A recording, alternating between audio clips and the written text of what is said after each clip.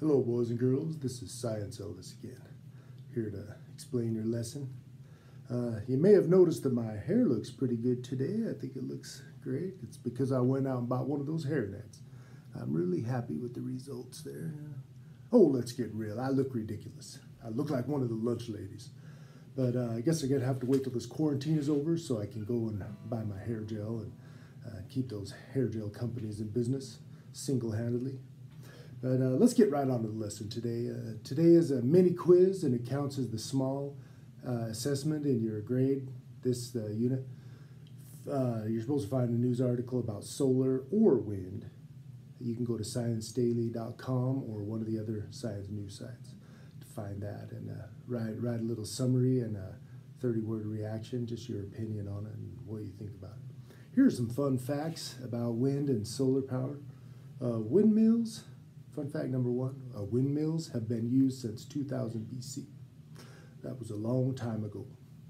Uh, fun fact number two one large turbine can power 600 homes. Hmm. Uh, fun fact number three the first solar power station was built in Egypt in 1912. I'm pretty sure there weren't any solar panels back then. They probably just heated up with water. And I know these facts are real because uh, I found them on the internet. So you can take those to the bank. Oh, here's another postcard from Mr. Thomas. Uh, gotta try to figure out where he's at, don't we? Um, Dear Science Elvis, I'm having a great time here. The power goes off sometimes because the main power cable is underwater. Hmm. But my friends here say it's better now since the new cable was put in seven years ago.